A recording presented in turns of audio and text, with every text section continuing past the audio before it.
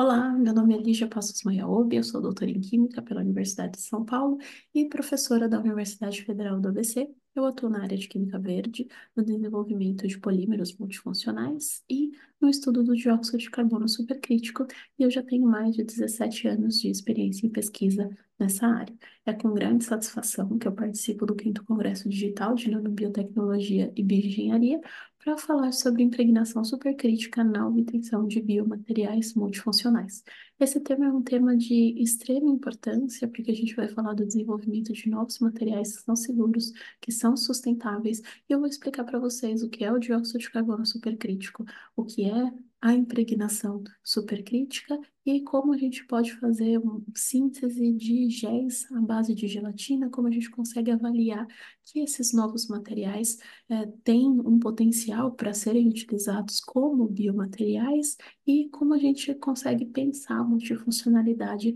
desses materiais. Então, ao final da minha apresentação, vocês vão ter mais insights de como a química verde tem um papel relevante uh, na bioengenharia, no desenvolvimento de novos materiais para utilização, né, como,